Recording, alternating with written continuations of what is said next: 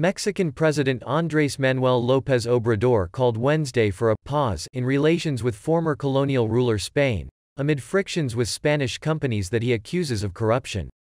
The pause is, we're going to give ourselves time to respect each other and not be seen as a land of conquest, López Obrador said at his daily news conference.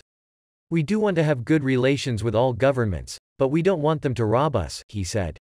Although the relationship with Spain is not good now, Mexico has no plan to break off diplomatic ties or recall its ambassador, López Obrador said. He again hit out at Spanish firms such as Repsol and Iberdrola, who have investments in Mexico's energy industry. López Obrador accuses the companies of paying bribes in the past in exchange for contracts, with the complicity of Mexican and Spanish governments. It was a conspiracy at the top, he said. They looted us. The remarks come at a time when foreign investors are concerned about López Obrador's planned energy reforms. Critics say the moves unfairly favor state-run firms heavily dependent on fossil fuels over private electricity producers such as Iberdrola who have invested in renewable energy.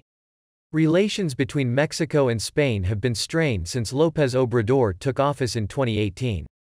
Madrid has rejected his demand for an apology for the events of the conquest.